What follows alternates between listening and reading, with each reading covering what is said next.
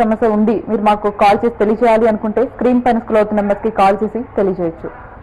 ఇక ఆంధ్ర భద్రాద్రిగా పిలువబడుతున్న విజయనగరం జిల్లా రామతీర్థంలో అన అమానుష ఘటన చోటు చేసుకుంది. కోదండరాముడి నా కోదండరాముడు నడయాడిన కొండపై నాలుగు వందల ఏళ్ళుగా పూజలు అందుకుంటున్న శ్రీరాముడి విగ్రహాన్ని గుర్తు తెలియని వ్యక్తులు ధ్వంసం చేశారు. దీంతో ఈ ప్రాంతంలో ఆందోళన నెలకొంది. శ్రీరాముడి విగ్రహం తలను తొలగించి పట్టుకుపోయినట్టుగా తెలుస్తోంది. సమాచారం అందుకున్న పోలీసులు ఘటనా స్థలానికి చేరుకొని పరిస్థితిని సమీక్షించారు. జిల్లా ఎస్ఐ రాజకుమారి హుటాహుటిన ఘటనా స్థలానికి చేరుకున్నారు.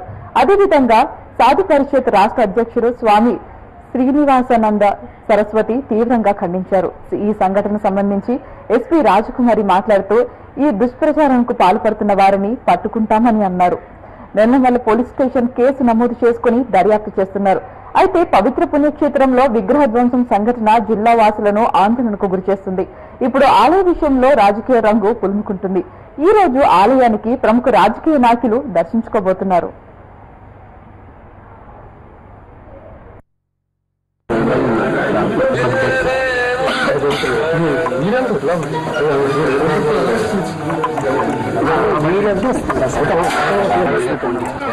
మాకు అవసరం లేదా మాకు ఏదో డోర్ చేయట్లేదు మేము వెయిట్ ఆవిడ ముందర ఆవిడ కాదు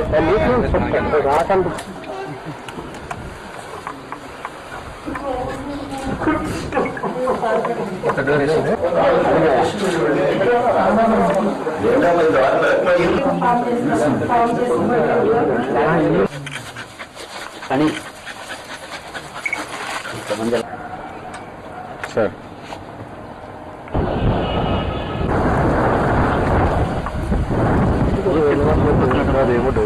Halo, ini yang merah pasukan. Ini, oh,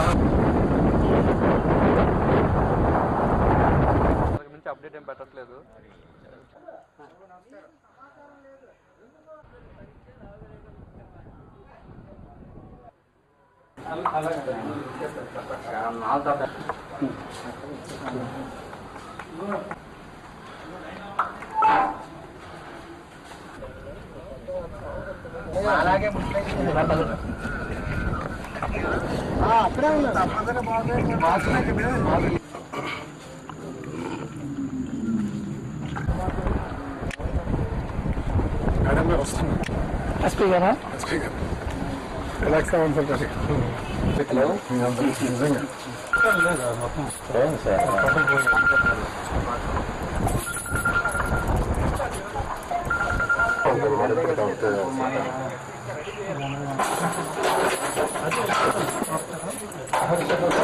Indra.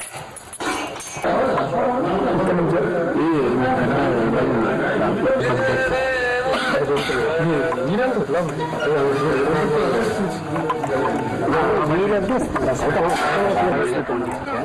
మాకు అవసరం లేదా మాకు ఏదో చేయట్లేదు మేము వెయిట్ చేస్తున్నాం ఆవిడ ముందర ఆవిడ కాదు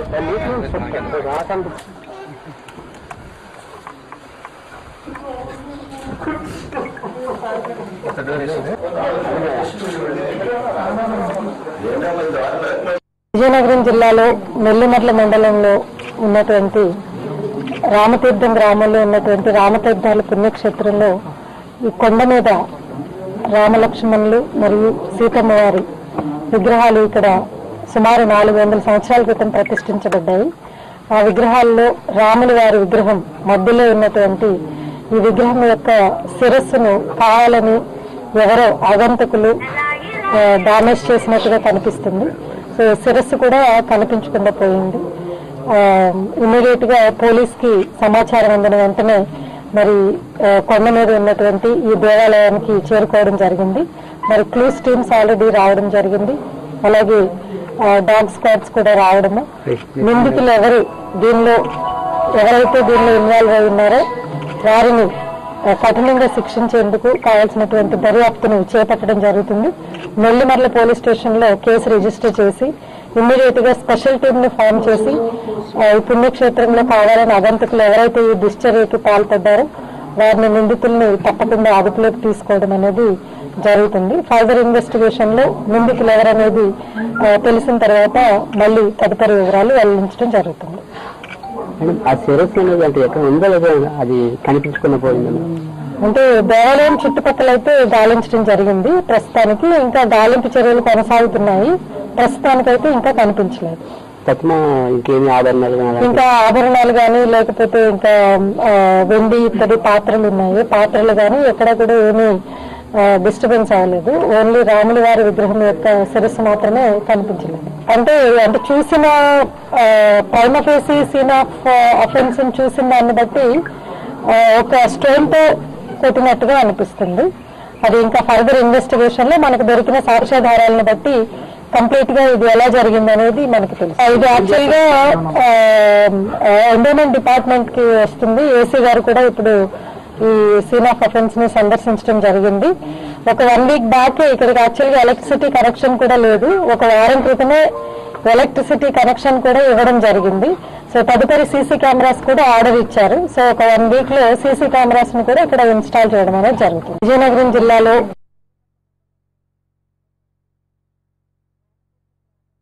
మరిన్ని వివరాలు మా విజయనగరం జిల్లాకు చెందిన ప్రతినిధి సురేష్ అందిస్తారు. సురేష్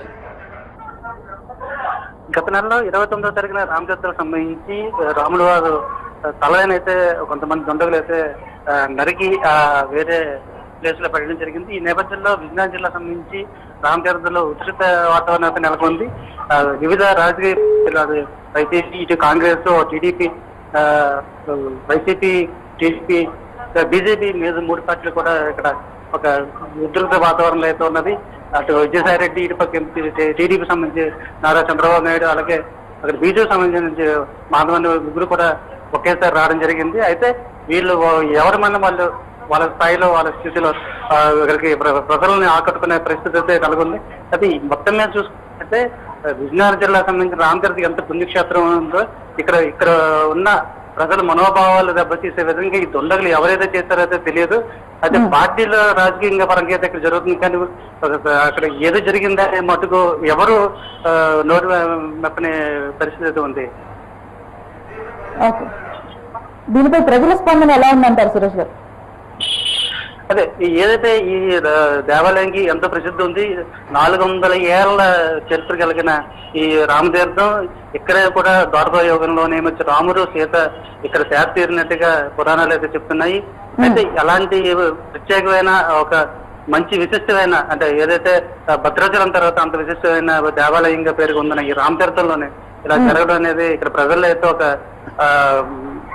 భావన అయితే కలుగుతుంది. ఎందుకంటే ఇంత పవిత్రమైన దేవాలయం దగ్గర జరగడం అనేది చాలా చాలా మంది రామనామంతో బాధపడుతున్నారు. Okay okay. Thank you Suresh